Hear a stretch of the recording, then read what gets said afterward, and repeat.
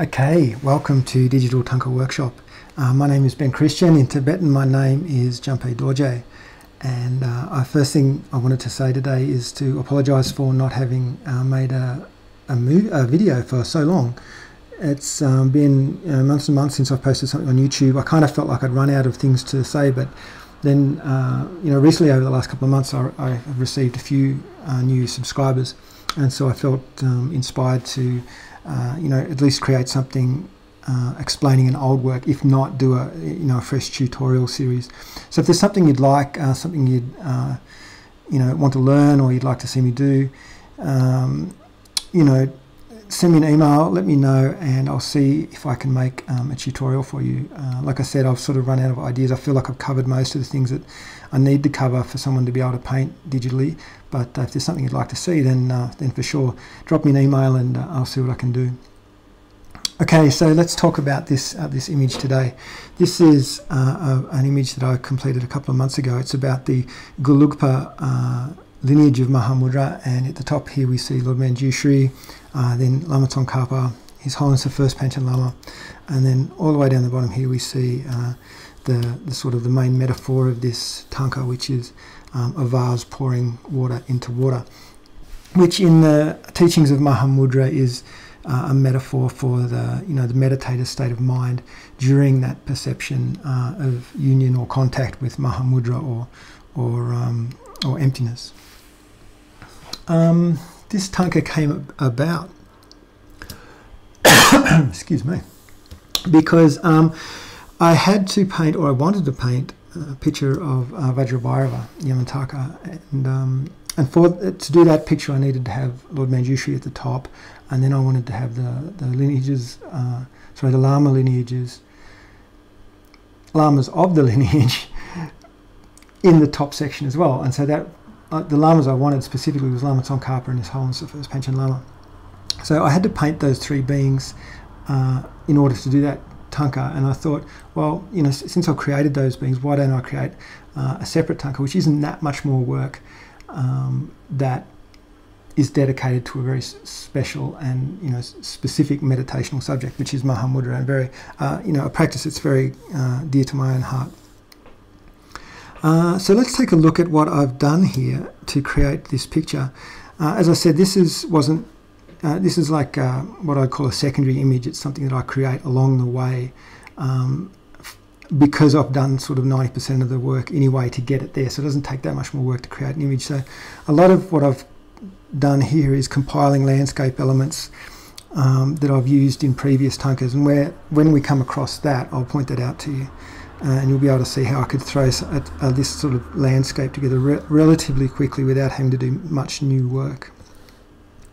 So uh, if we turn off the, the, top layer here and we look at the whole thangka, the first thing, we'll go from the, the bottom to the top and the first thing is the the background layer. So this is the you know the, the really the foundation of the thangka. It defines the the, the gradient in the sky, uh, and then the landscape, the basic coloration of the la landscape. There's some earth sort of cliff element here. Uh, this pink section is some foreground rock. Uh, there's obviously the water here and then like a, a stream or a watercourse running through the middle.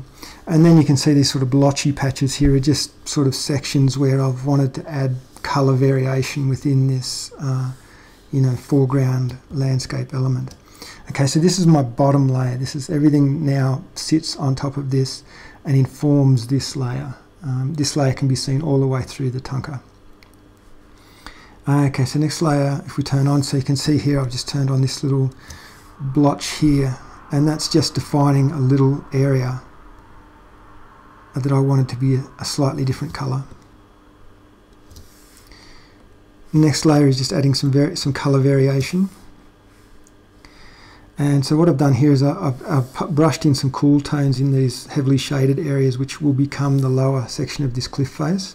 And I've done it with a brush, I think it's like a sponge brush or something that just sort of adds, adds some randomized texture as you paint. And that's to try and break up, um, you know, that super fuzzy airbrushed digital look, which, you know, is, is difficult to get rid of. Um, and so that's now I've, I've, you know decided on colours. Now I'm just starting to break up all those sections, and you'll see uh, there's a few different techniques I use for that. One of them is to use a textured brush. Uh, next layer. Okay, so this is now the uh, just defining the, the crest of any little ridges within the thangka. So you can see here I've just added uh, some you know yellow browned off grass sections to the top of these little areas of landscape, and that helps to define the you know the, the folds and and the contours of the of the landscape and add some depth. So some, you know some of it's little you know quite subtle and some of it is very very strong. So you can see they're starting to build some depth in the center of the thangka here. Uh, next layer, so this is just adding more color variation.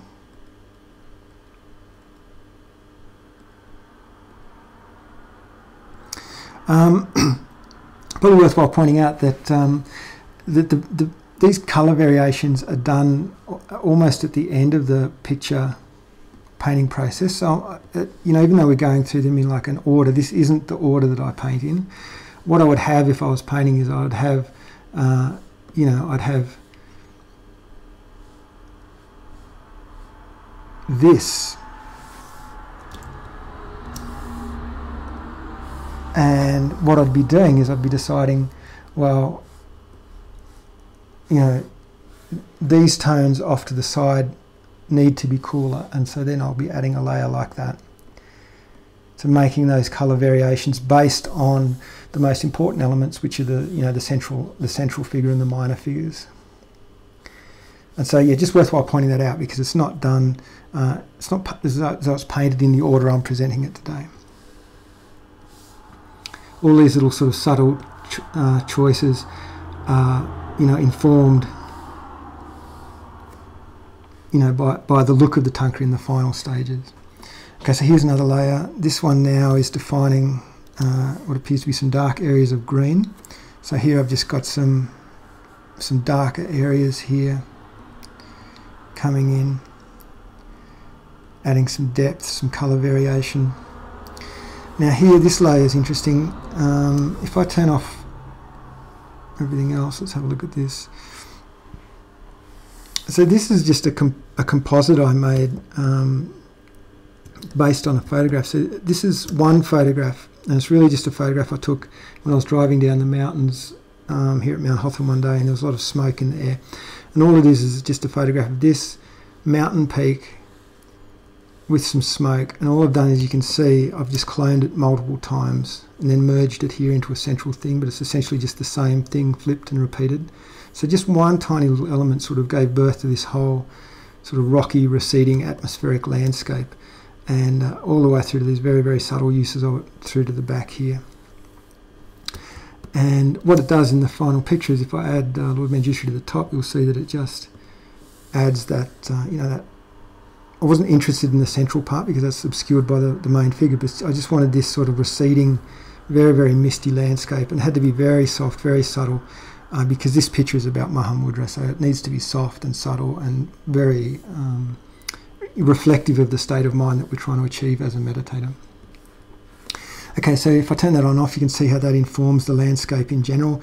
And it's also, I've used it down the bottom because it just adds, it's a way of adding very quick, reasonably subtle colour variation to your landscape without having to paint it in.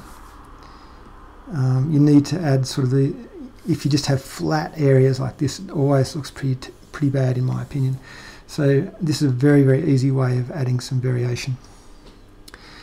Uh, so no, you know, go out, take some photos and use them, blur them, distort them, make them very, very low opacity, put them in, in, you know, composite them into your picture in a soft light blend mode or something like that and see what effect it has. And take it all the way down to as subtle as you can. Don't make it too obvious. That's just adding a bit more detail to the, bit more depth. I guess I wanted some more, a bit more foreground detail here and as it recedes into the background. Uh, what's that? This is a little layer down the bottom here. This is just defining a point of in interest within the, the waterscape.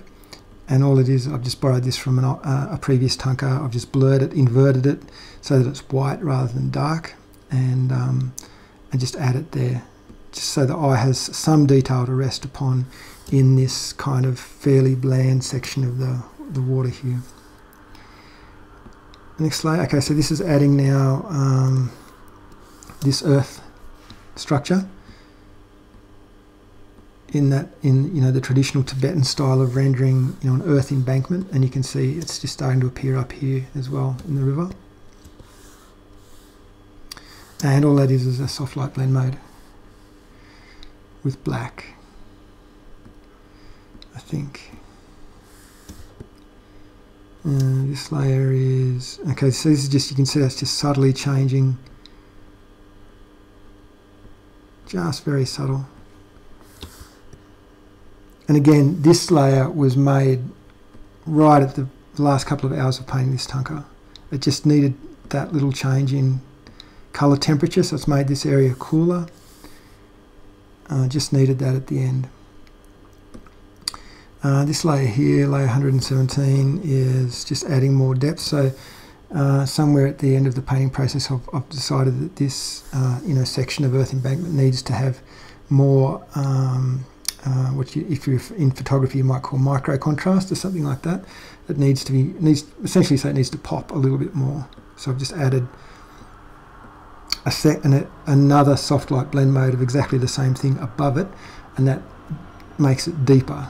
Or you could change it to the overlay blend mode, but that may do something a little bit funny to your colours. So um, I try to stick to the soft light blend mode. The, the overlay blend mode um, can make your colours oversaturated and then you have to adjust your colour layer underneath. Okay, so this is mist. So this is um, adding some atmosphere to the picture. This is foreground mist and it's one of the, the you know, if your landscape is not looking the way you want it to look, uh, a very easy way of bringing some depth and to cover up any mistakes or you know poorly rendered areas in your landscape is to add some mist.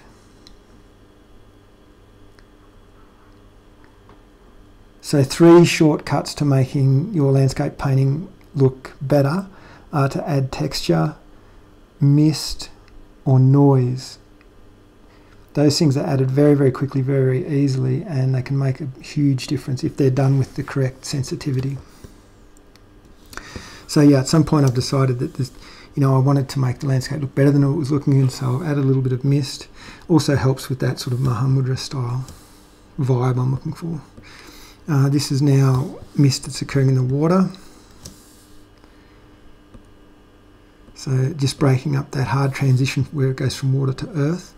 Uh, you, you, don't want, you know, you want that to be nice and soft because, it, you know, in reality the, the water would be transparent at that point and it would be blending quite uh, beautifully into the rock surface. And so I've just introduced that layer to help aid that. Now I've added some spray. So this is um, uh, the airbrush set to a it's the modern airbrush not the usual airbrush that you paint with but the actual airbrush brush um, with a very granular setting on it. And uh, I use that just to add some some spray detail. If you just paint with soft fuzzy airbrush white it's, it's not going to look right. It needs to have some variation to it. And you'll see at the very last process um, I, I, add noise to the picture which adds blends this granularity here seamlessly with this very non-granular smooth section.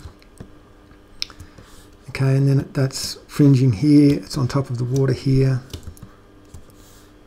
here here. Okay next slide. Okay so now this is the rock the, sorry the rendering of the landscape as a whole. And so this is just a soft light blend mode and that's now introducing the, the actual rock structure, like the, the more micro rock structure. Uh, you can see it clearly here.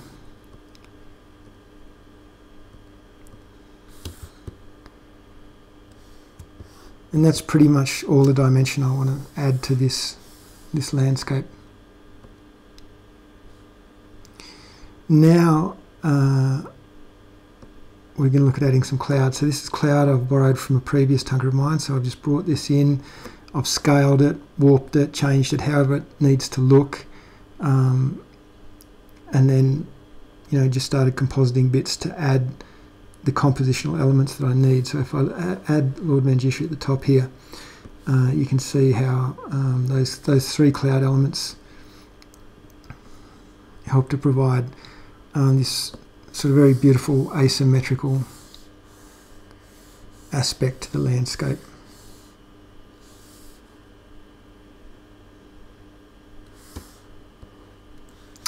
Okay, next layer is, okay, so here is the vase layer. So this is just everything that composes the vase. And again, I've painted, I think I've painted this from scratch, this section here. But the vase and the lotus supporting it and these leaves I've again borrowed from a previous thangka. So uh, if we look at what's making that up, you can see there's some leaves there, there's the body of the vase, there's the watercolour, there's the main leaf section, there's the lotus, and there's some sort of additional elements of the vase, and then there's some shading, and that's it. Okay, next we have um, His Highness the First Panchen Lama. And so he is created uh, in a separate uh, image and brought into this, composited into this image as a smart object. But within this picture, what I've done is I've added some cloud.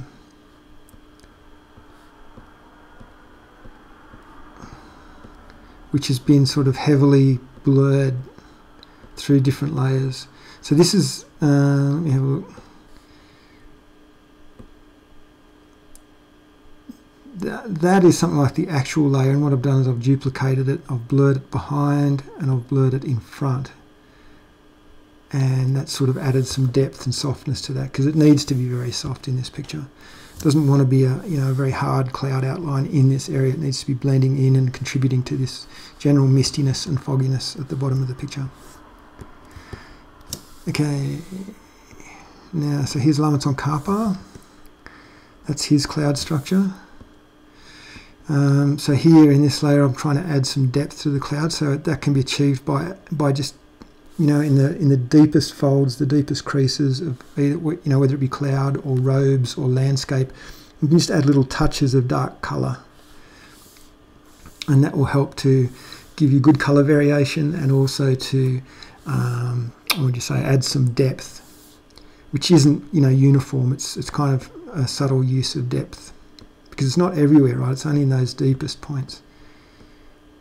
Uh, and if you made that pink, like a dark pink, it you know, you would have lost your opportunity to paint a little bit of colour variation which is always very um, something you really fight against with digital painting. It's, things can often look very monochromatic uh, um, because because we're not we may not be trained as an actual painter, so it's not like we're mixing paints or there's any sort of natural variation occurring on the brush.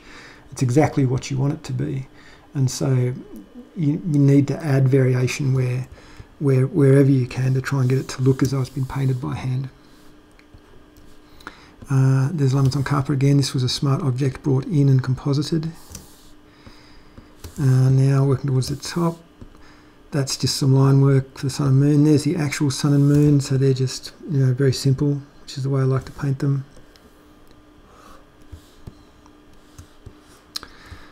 Uh, and that's the finished thangka.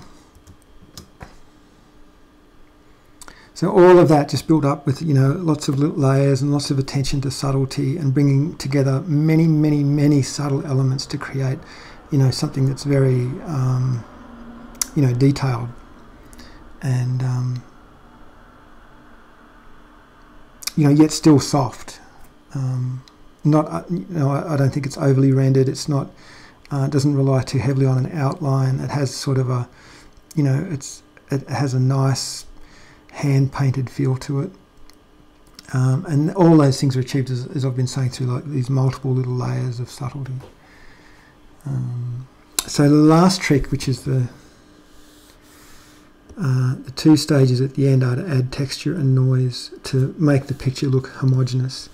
So one of the areas where you lack homogeny is um, so remember we, we looked at this area here. So here we have this kind of spray going into a very very soft fuzzy thing. And so it looks you know they don't talk the same language.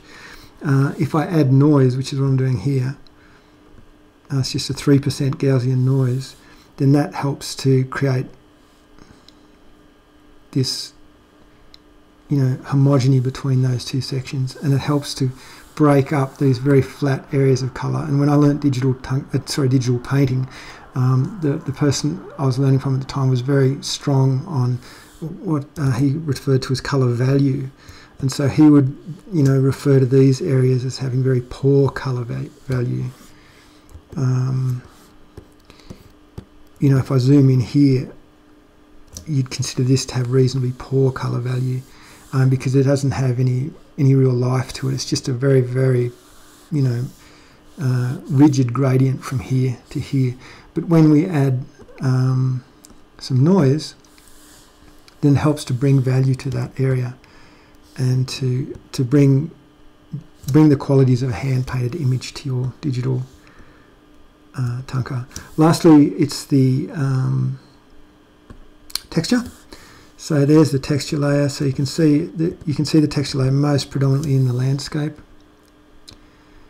and that helps to give the appearance of it being painted on on silk in natural media, and again brings areas of different focus together.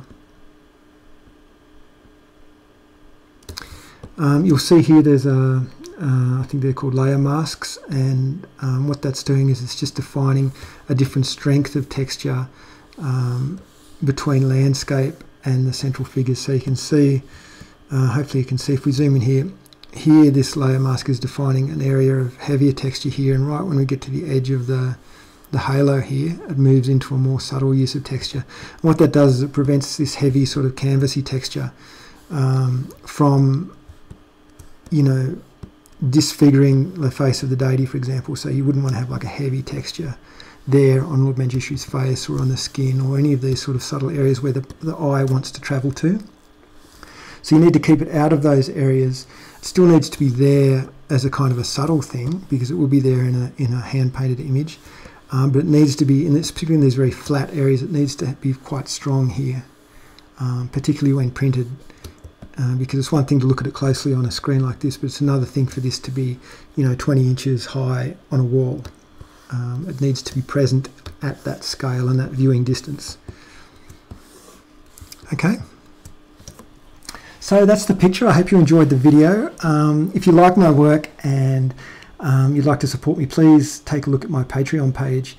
Uh, I do a lot of um, work throughout the year and I post it on Patreon and uh, over there we could there's an arrangement where you can support me uh, financially in exchange for high resolution copies of my work.